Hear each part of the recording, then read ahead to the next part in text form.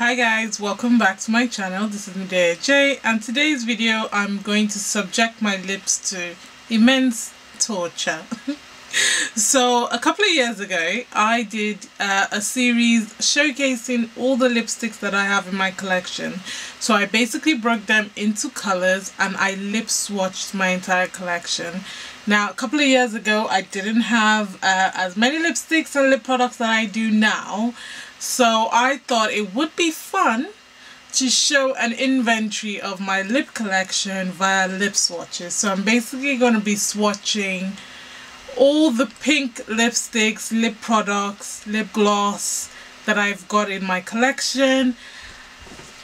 And uh, it's a lot.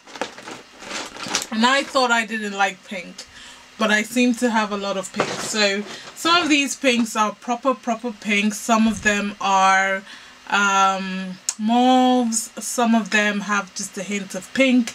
So I'm gonna do pinks and then hopefully over the next couple of videos, because this is gonna take me a while, I can do reds, I can do nudes, purples, and then all the other fun weird colors in one video. So if you're interested in seeing all the pink lipsticks that I have swatched on my lips, there will be a few hidden gems that you guys didn't know about that would look that look beautiful on dark skin. So definitely get your notepad out um yeah and let's have some fun. So this is not going to be a talk through.